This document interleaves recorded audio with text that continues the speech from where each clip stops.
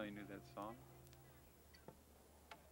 I heard you play that song in 1995 at the Fillmore. And I didn't have enough money for a ticket, and I snuck in to see you guys. And I was really thankful. I love you guys. I love your taste in coats. If you, if you dug that song, let me show you another one. All right? I got a new one for you. Kick it. Follow me, Urza. At first you smiled, then turned away. I've been thinking what I should say. How much were tickets back then? All last night I stayed up dreaming. I'm still dreaming.